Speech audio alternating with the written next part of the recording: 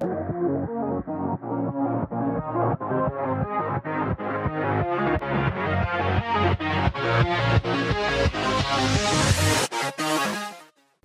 you've been thinking about getting in shape or successfully getting in shape or have already gotten in shape, there's a good chance you've heard words tossed around like hypertrophy, anabolism, or even muscle protein synthesis. And all this does play a part when it comes to building muscle, but when you think about building muscle, is it more than just creating those glorious gains? Is there something to it that can impact your health, impact your longevity, and impact your overall quality of life?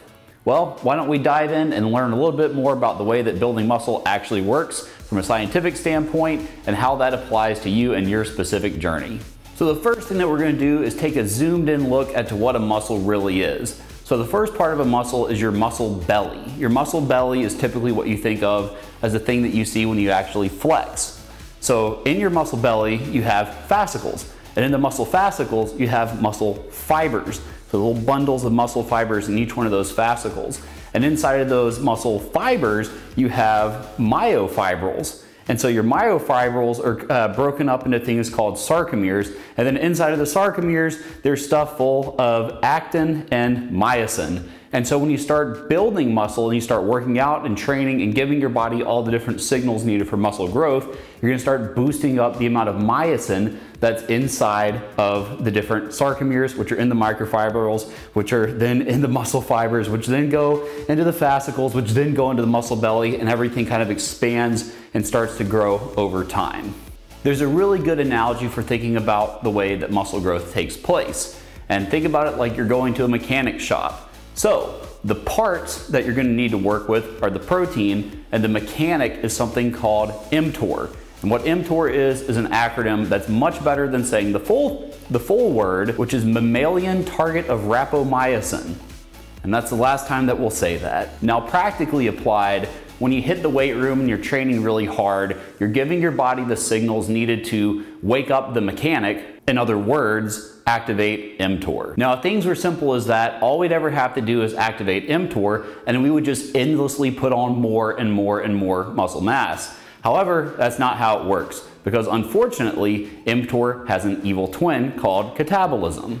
Catabolism is just when protein is breaking down, muscle protein is breaking down, and it can happen typically when you're doing things like lifting weights, which seems to be a little bit counterintuitive because your body is constantly in a state of flux between muscle protein synthesis, otherwise known as anabolism, and also muscle protein breakdown, known as catabolism or catabolism, however you want to potato potato. However, how this really applies to you is all about the long run. So whether you're anabolic or you're catabolic, fluctuating throughout the day, it doesn't really mean much. What really matters is the overall net over the long term.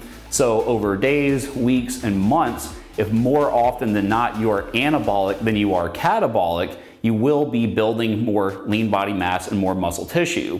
And so that brings us to the next point, which is, well, how might you go ahead and turn on the anabolic pathways? So this is the part where we want to talk about how to wake up the mechanic or activate mTOR. So the first thing that you want to think about is the actual stress that you're placing on your muscles. The first one, of course, is mechanical tension. So mechanical tension is when you are lifting the weight and you're actually overcoming an external force with your skeletal muscle. That's sending signals to it that, hey, we're being activated, we're contracting, we're experiencing the stress that we need to adapt to. So mechanical stress is the first one. The second one is metabolic stress. So the more that you're working out, the more that you gain a pump, and as you're in that gym, you're flooding your, your muscle tissue full of blood and you're changing its pH balance. So as you start to drop the pH balance of your muscle tissue and all the different muscle fibers, you are sending it metabolic signals that, hey, we need to respond to this stress through growth. And the final part is actual muscle damage. So as you're working out and you're breaking down that muscle tissue, it's going to have to repair. And through those repairs, you start to add new mass.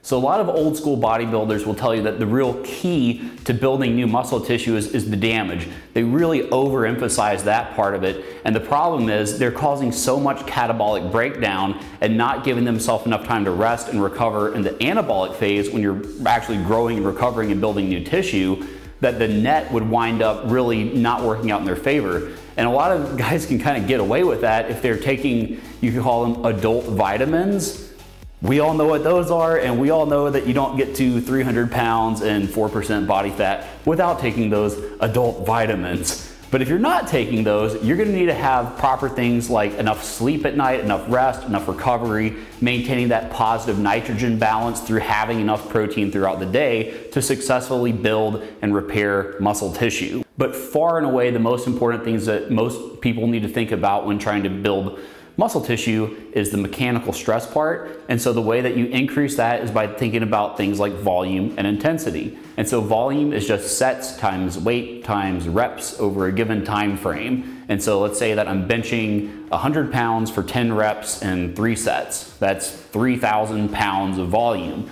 Now, if that's all I did that week, I would have 3,000 pounds of volume for that week. And so if the next time, or the next week I do 3,500 pounds of volume, and then 4,000 pounds of volume, and then 45, so on and so forth, you're adding more and more mechanical stress over time that's gonna give your muscles a reason and a signal to grow.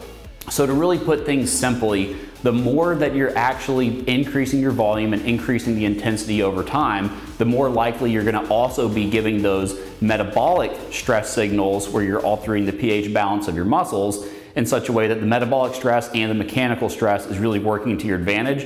And if you're not doing so much damage that you can't go back and add more volume and add more metabolic stress, you're gonna continue seeing positive results with muscle growth.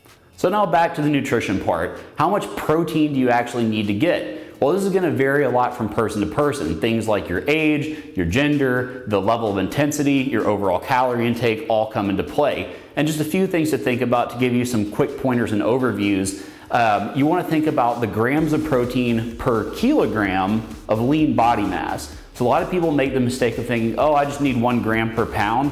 While that would probably be enough or even more than enough for most people, it's kind of overkill because the more protein that you have, you're going to be taking away from your carbs, which provide a better fuel source for your training. So if you're not having a good fuel source for your training because you're, you're, doing, you're overdoing it on protein, you're probably gonna have less quality training sessions, which is the whole reason why you need to have protein to begin with to help you recover from session to session. So what you wanna do is think about the law of diminishing returns. Some of a good thing is a good thing, but not that doesn't necessarily mean that more and more and more of that good thing is gonna be a better thing. So back to numbers, if you're looking at around 0.8 to 1.2 grams of protein per kilogram of lean body mass, that's probably gonna do you pretty good. Now, the older you are, the more protein you're gonna need, the greater the calorie deficit that you're in. If you're doing fat loss, the greater your protein need is gonna be. Um, if you're using Avatar, the actual software, all that stuff is calculated and factored in for you. Uh, but if not, it's definitely something that you wanna really think about and know that you'll be on the higher end of that if you're older, you're on low calories, uh, and you're working out really hard, or you might be on the lower end of that if you're younger, um, you're in a calorie surplus trying to build muscle, and you're not training super duper hard. So going back to the practical application of all this, do you really need to be pounding down protein uh, in high volumes and high quantities at very specific intervals all throughout the day? Not really. I mean, your daily intake is what matters far and away the most. Do you need to sip BCAAs during your workout? No, not really. Is there an anabolic window where immediately after your workout, if you don't have your protein, you're gonna miss out on your gains? No, not really. I mean, all these little things are just the absolute cherry on top. I mean, they might be the invisible cherry on top of the cherry on top of your gains. So you don't want to get too caught up in the specifics and just know that your total intake from day to day, really week to week, month to month, as long as you're maintaining that positive nitrogen balance in your body, and again, that nitrogen balance is just a response of having an adequate amount of protein to where Mr. mTOR can come in and do his job as the, the muscle mechanic and take the protein and, and put it where it needs to go for muscle protein synthesis. So that way you can get your gains. Anyway, I hope you found this video helpful. If you did and enjoyed it, feel free to leave a thumbs up. That's a very easy thing to do. The comments a little bit harder, but the comments are also nice because it helps us get feedback on how we can give you more information that helps you out. And if you really want to be cool, that's where the subscribe comes in. And apparently you need to hit this bell thing too to get notifications. Still learning how to use the YouTubes, but uh, it's a good way to get information out there and hopefully enjoy it and we can't wait to keep making more videos for you. Until next time, au revoir.